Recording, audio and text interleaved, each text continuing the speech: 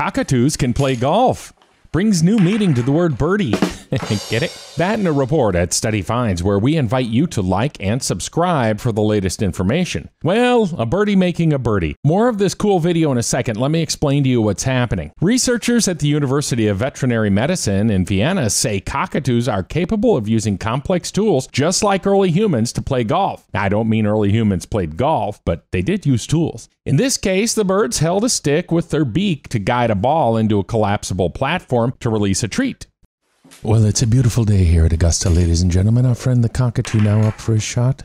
18th hole. Could be the win. He grabs the ball and play. I, I noticed no caddy for this cockatoo. Seems a bit discriminatory.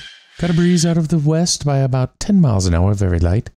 He's getting ready to line up the shot there, uses his foot and his beak with such dexterity. Now he's going to take a shot to the right, hopefully for a success here on the 18th green.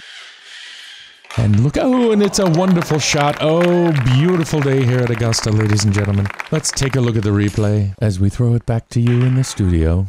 Ah, wonderful coverage. Dr. Antonio Osuna Mascaro investigated the innovative problem solving abilities of a particularly tool adept bird, the Goffin's cockatoo. Wouldn't it be funny if it was the Golfin's cockatoo? They should change it. He came up with the idea of a golf induced task after passing a course on the way to his laboratory. Like they say, necessity is the mother of invention. I, I presume he sucks at golf just like me.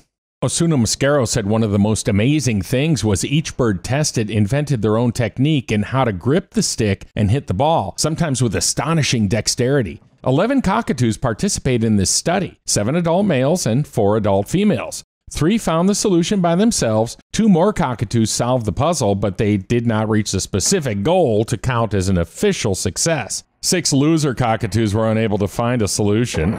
oh, everybody's a winner. Don't feel bad. Like I said, I suck at golf too. Maybe they should have sent around the beverage cart. Another important fact is that this experiment requires a series of abilities similar to the nut cracking of chimpanzees.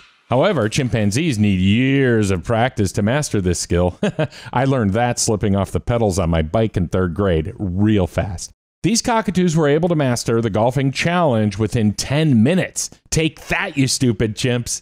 Find more detail on this and other studies at studyfinds.com.